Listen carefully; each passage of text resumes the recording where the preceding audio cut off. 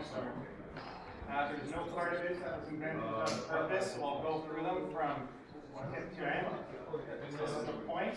So we have edges on both sides. We have a foible and a forte. We have a midpoint.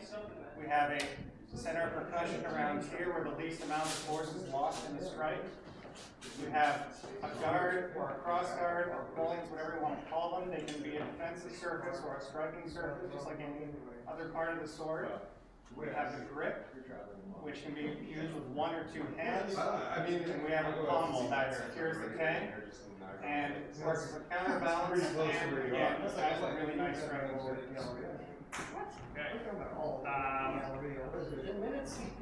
what is the tang? That's just cross. Tang is an extension of the, uh, wing. Um, Oh, okay. So it's just a structural element. Okay. So what do we mean when someone will say like playing harmonics? What are they talking about? Uh, We're talking about like, um, the way it behaves when, when it impacts. So that was the center of percussion that I talked about there. Uh, we have one note here and then another note back towards the hand.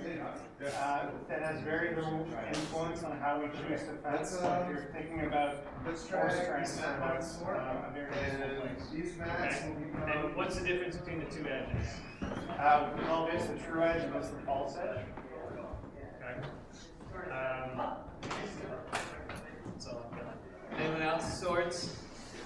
Parts of swords? Bowler, you look like you might know.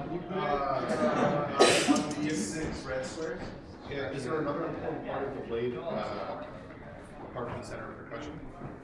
You may have mentioned this already, Um, but oh, I I- did I miss it? I can also talk about the balance. Oh, please. So, This is another, it's not the most important, um, like, there are a lot of uh, elements that come together that determine how a sword handles.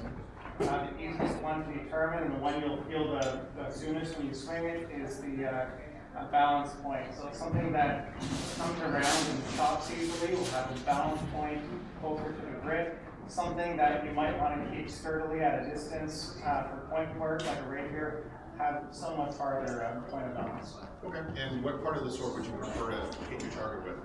I would prefer to hit like the last third, anywhere between here and here. Sounds many parts of the sword can you kill with? All of them.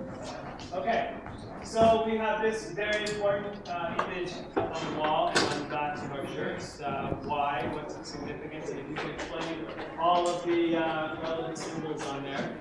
All right, so this is a very useful diagram from the Flower Battle. Uh, we show a fencer here, and it's divided up into targets.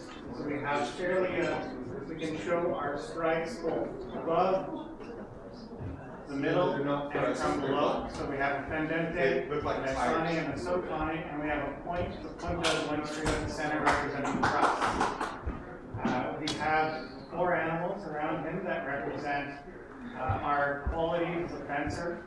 We have the bottom fortitudo, uh, signifying with an elephant with a castle on its back, representing our balance, our strength, our uh, vitae, our stability. We have uh, Celeritas there with a tiger holding an arrow, and this represents um, our speed, our sense of tempo, our acting quickly and precisely.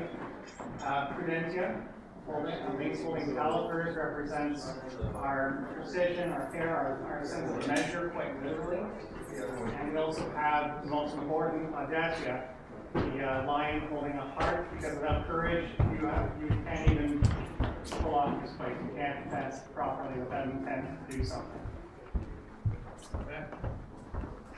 Okay. Who is the person?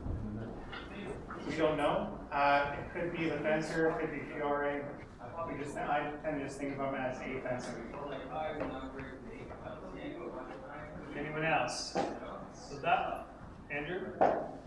What is the most important of four qualities? So that would be Audacia, and that's because without it, uh, you won't have the courage to fight and defend yourself correctly.